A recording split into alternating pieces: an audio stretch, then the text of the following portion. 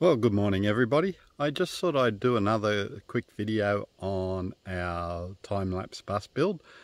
So take a seat for 15 minutes or so and have a look at uh, how the time-lapse is going with the building of the bus.